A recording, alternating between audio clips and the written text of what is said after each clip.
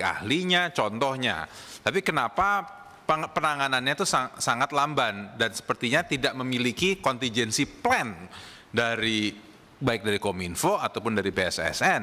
Itu yang kita sekarang ini bahas dan kita yang yang kita pertanyakan. Ini tahapannya bagaimana? Pencurian data saja yang sudah berulang kali masih terus kerap terjadi. Dan selalu berkata bahwa itu data usang, data usang, data usang.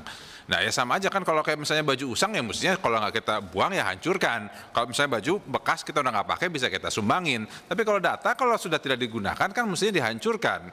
Tapi kenapa masih bisa bocor? Eh, terus juga penyimpanan data bukannya ada backup, tapi malah datanya bisa dicuri. Ya ini yang menjadi pertanyaan kita semua Pak. Itu. Betul Pak. Jadi itu yang saya sampaikan tadi, kita ada kekurangan di tata kelola. Ah, kita kita memang akui itu dan itu yang kita laporkan juga.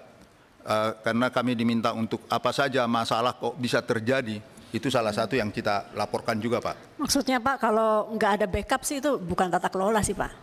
Siap? Kalau alasannya, ini kan kita nggak hitung Surabaya eh, Batam backup kan, karena cuma 2 persen kan.